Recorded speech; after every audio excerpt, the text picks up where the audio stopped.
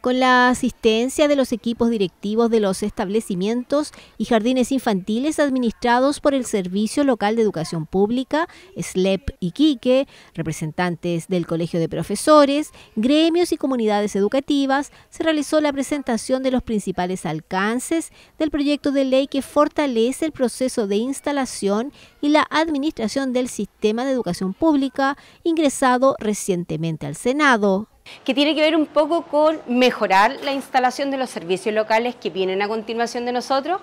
en base a elementos que tienen que ver con la gobernanza, con el resguardo de un traspaso educativo que esté en condiciones óptimas y de manera eficiente, y por supuesto con mejorar los mecanismos de vinculación con el territorio, tanto previo como en el proceso de instalación. En la jornada se pudo detallar algunos de los puntos de la propuesta que tiene seis ejes principales para mejorar el traspaso de establecimientos a los SLEP, entre otros objetivos. Este proyecto de ley está pidiendo un fondo para la infraestructura, para que ningún colegio tenga problemas, porque sabemos que lo pedagógico pasa por tener buenos espacios para que los estudiantes puedan eh, desarrollarse. Y también está este proyecto de ley eh, pidiendo que la Dirección de Educación Pública también tenga más facultades para hacer ciertos cambios en el caso que sea necesario en los servicios locales de educación pública, donde por ejemplo tengamos problemas de crisis educacionales o que tengamos muchas irregularidades